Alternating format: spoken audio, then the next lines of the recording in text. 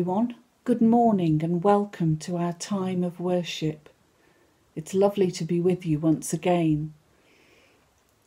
Let us prepare for our time of worship by thinking and reflecting about our symbols. First of all, we place the Bible and we think of God the Father and we say, Father, we are here. We are here for you. Think and reflect about the cross and how Jesus died on the cross for us. And as I place the cross, we say, Jesus, we are here. We are here for you. I've actually already lit our candle because I wasn't very sure whether it was going to light, to be honest. So you can just about see it flickering there within the circle of friends holding hands. And so, as we look at the candle, we say, Holy Spirit, we are here. We are here for you. Now, you might notice something very exciting at the side here. I have two special presents. I wonder if I'm going to open them. You'll have to wait and see. Someone has been very generous. Someone has gift made me created me a gift, has given me a gift. They have been generous. And I'm going to tell you a story now about a time when I was a little girl, a young girl, and I was at school. It's a long, long time ago. But when I was at school, I remember something happened. I had a very special friend, and my very special friend was called Joy. And Joy used to sometimes go shopping with her dad. And one day she came along and she said, Wow, you'll never guess what. I have bought my mum a present. I have bought her a special, special gift. I have bought her a necklace and some flowers and some chocolates and a huge big card because it's her birthday. And Dad came with me and helped me. I am going to be so generous, and my mom is going to love me so much because of everything I have given her. That caused me a little bit of worry. You see, I hadn't got a lot of money myself, and I hadn't got a dad who could come with me at that time to go shopping. And if I had, I wouldn't have been able to afford the gifts that Joy had bought for her mum. But what I did do when I got home was go to my room. My dad came upstairs and said, What's the matter? What's wrong? Said, Well, my friend Joy at school, she's been shopping with her dad and they've bought a necklace and they've bought some flowers and they've bought some chocolate and they've bought some a, a card for her mum, and I haven't got anything for my mum. My dad looked at me and he said, Don't worry, your mum doesn't need those things at the moment.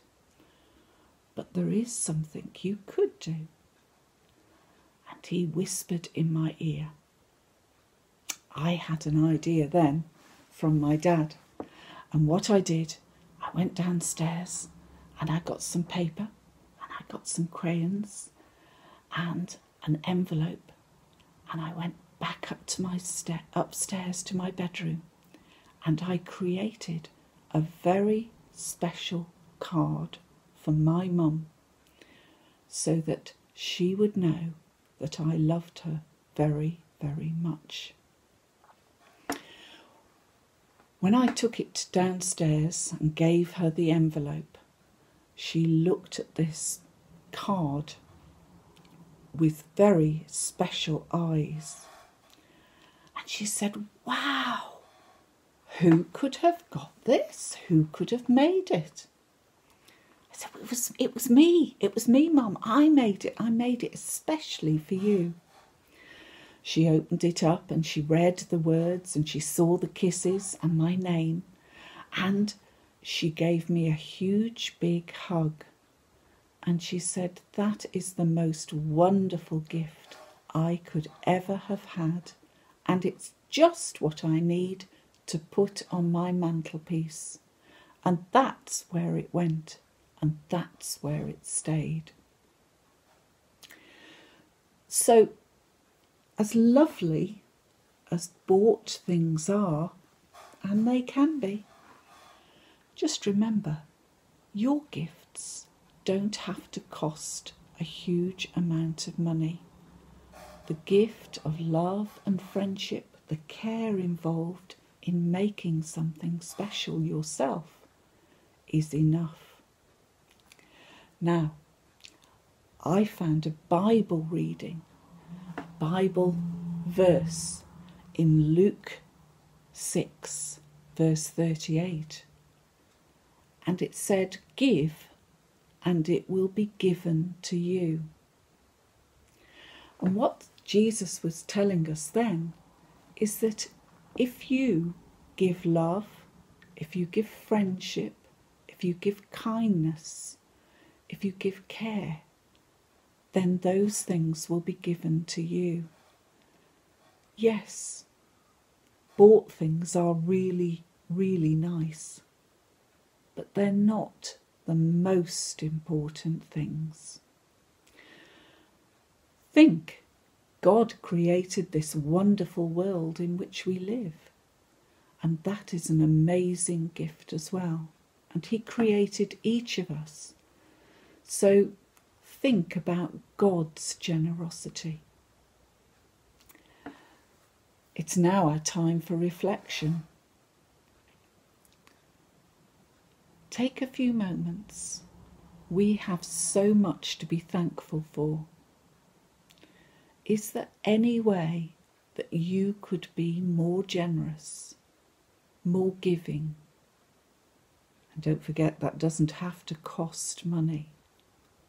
Could you give more in a different way?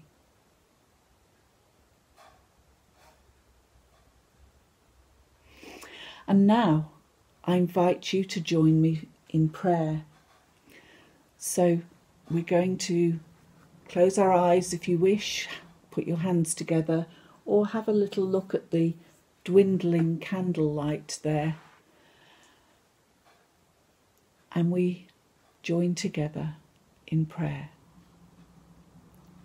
Lord Jesus, we thank you for your generosity.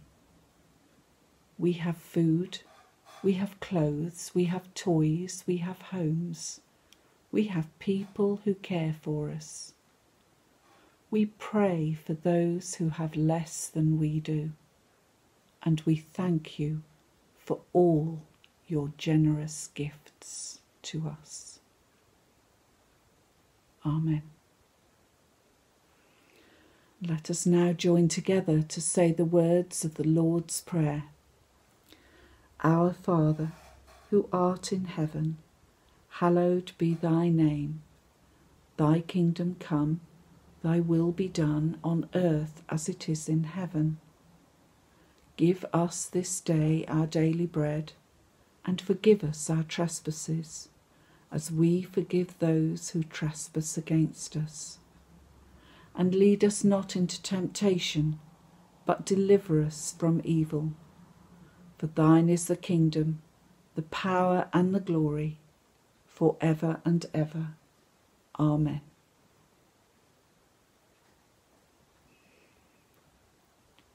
Thank you for joining me this morning. I hope you've enjoyed this morning's Christian value, thinking and reflecting about generosity. I look forward to seeing you very soon. Take care. Goodbye.